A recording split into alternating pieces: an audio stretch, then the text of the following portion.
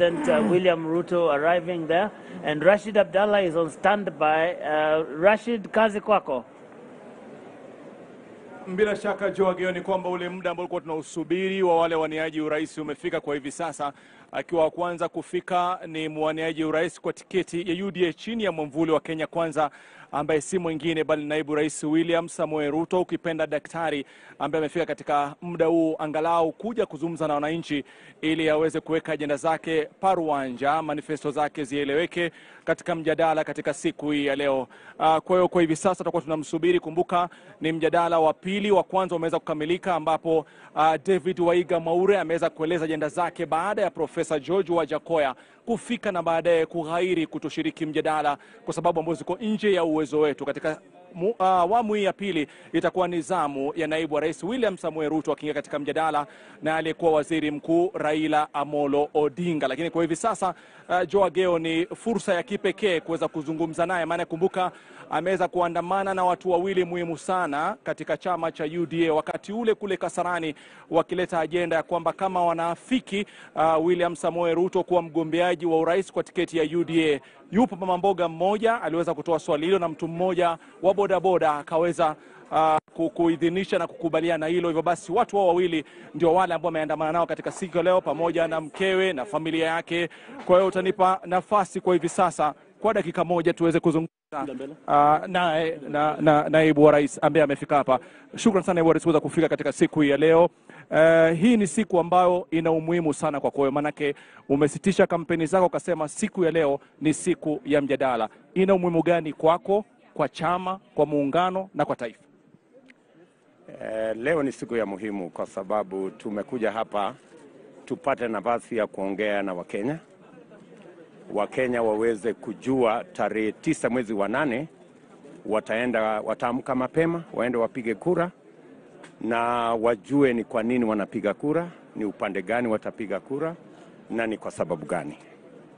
Na ndio leo ni siku ya muhimu kwa sababu tutapata nafasi na wenzangu kujieleza kueleza manifesto yetu, kueleza misimamo yetu kuhusu mambo ya muhimu yanayowahusu Wakenya na taifa letu kwa ujumla.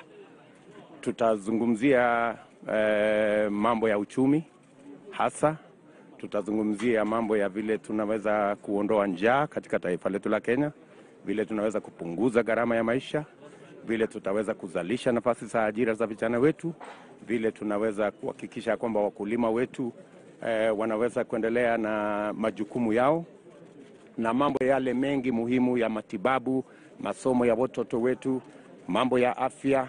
Haya ndio mambo ya muhimu, na naamini ya kwamba Wakenya wanangojea kujua ni yapi tulio nayo. Tumewazungumzia pale nyanjani, lakini leo tutapata nafasi mwafaka ya kueleza kinagaubaga yale eh, mambo ambayo tumepanga kwa ajili ya uongozi wa taifa letu. Labda pende kwa utofauti, naibu wa rais, ni kwamba umeandamana naibu wa uh, mgombea mwenza wa chama, lakini hapa kuna watu wawili ambao walikuwa muhimu katika ule mkutano wa wajumbe wa chama cha UDA, huyu mama ambaye aliweza kuleta swali na yule mtu wa bodaboda aweza kuidhinisha. Mbona ukawapa kipaumbele katika siku ya leo ya mjadala? Kwa sababu nimeambatana nime- na wao tangu tuanze hii safari. Huyu mama nilimpata kule Kiambu wakati tulienda kule kwa eh, Economic Forum, na niliona ni mama mwenye ako na maono.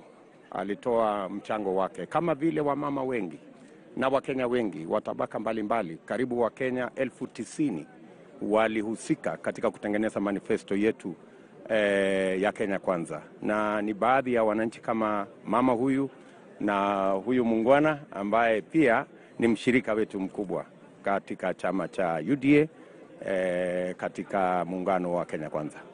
Pengine kwa kauli ambayo unaweza kuitumia kuweza kumalizia kwa yule hasla ambaye ana, anatizama. Anatarajia nini sasa hivi kutoka kwa Anatarajia kujua ni vipi yeye ataweza kuweka chakula katika meza, ni vipi mtoto wake anaweza kupata ajira, ni vipi masomo yake ya, ya watoto wake itashughulikiwa, ni vipi kilimo E, kitashughulikiwa na serikali inayokuja, na ni vipi anaweza kuhakikisha kwamba ako na matibabu? Na ni mpango gani tulio nayo kumshughulikia ili aweze kupata matibabu bila matatizo.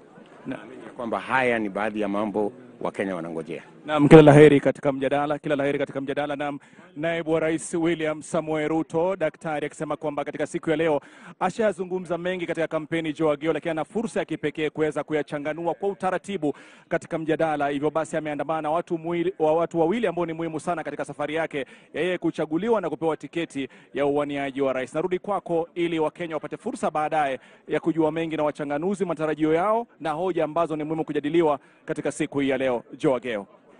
Uh, Shukran. Rashid Abdallah, they are speaking to the Deputy President, uh, who is the UDA presidential candidate uh, in the Kenya Kwanza coalition in this election that is now just 13 days away.